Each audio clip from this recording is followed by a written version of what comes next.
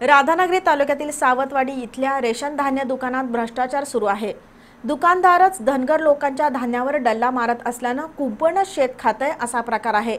शासनाकडून मिळालेलं मोफत धान्य परस्पर हडप केलं जात आहे तर मयत झालेल्या पण अजूनही रेशन कार्डवर नाव असलेल्या लोकांच्या वाट्याचं धान्य सुद्धा संबंधित दुकानदार परस्पर उचलतोय.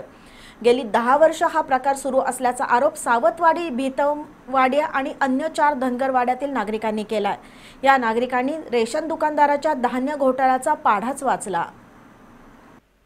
राधानगरी तालुक्यातील म्हासुर्ली परिसरात अनेक खेडी आणि धनगरवाडे विखुरले आहेत. इथले गोरगरीब नागरिक दरवर्षी दिवाळीनंतर रोजगारासाठी सात महिने बाहेरगावी असतात. या परिस्थितीचा लाभ म्हासुर्लीपैकी सावतवाडीमधील दत्त रेशनिंग दुकान चालकानं उठवला.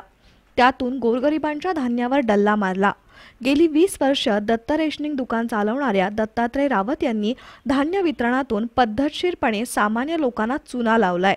या धान्य दुकानाला दोनशे ऐंशी कार्ड जोडलेली आहेत पण प्रत्येक वेळी धान्य देताना वजनात तूट असते.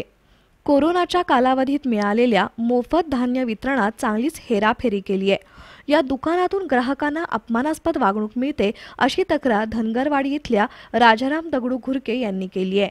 माझं कुटुंब आहे. बारा माणसापैकी सहा माणसांचंच मला धान्य मिळते. टोटल माझी ऑनलाईनला दहा माणसं असून सुद्धा मला चार माणसाचं धान्य मिळत नाही. आणि त्यांना जर विचारलं मला चार माणसाचं का मिळत नाही? तर तुला मिळत नाही. आम्हाला सरकारकडून आलेलं नाही. आणि आरेडावीची भाषा करतात. आणि जर त्याच्याकडे आम्ही जास्त काय बोललो तर पाहिजे तर घे. नाहीतर घेऊ पण नकोस. जा इथून. आणि आता मोदी सरकारनं जे पाच पाच किलो धान्य दिले त्यांचा विचारल्यावर आम्ही काटा बाहेर करून बघितल्यावर पाच किलो मध्ये साडेतीन किलो येते दीड किलो जाते. हे जाते कुठं धान्य?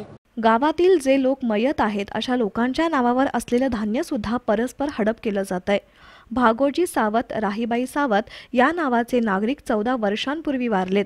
पण अजूनही त्यांच्या नावावरचं धान्य उचललं जात आहे कोरोना पार्श्वभूमीवर शासनानं नागरिकांसाठी मोफत धान्य दिलंय. पण त्याचंही व्यवस्थित वाटप होत नाही.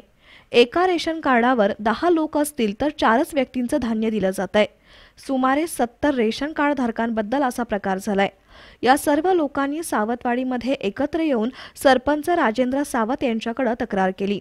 त्यांनी ऑनलाईन प्रणालीद्वारे माहिती मिळवताच हा प्रकार उघडकीस आला. मृत लोकांच्या नावावरचं धान्य उचलणं म्हणजे टाळूवरील लोणी खाण्याचा प्रकार आहे. त्यामुळे तहसीलदार आणि जिल्हाधिकारी स्तरावर चौकशी व्हावी अशी मागणी ग्रामस्थांनी केली आहे. दत्तात्रय रावत हा दुकानदार गेली वीस वर्ष मनमानी कारभार करून सामान्य लोकांच्या तोंडचा घास हिरावून घेतोय.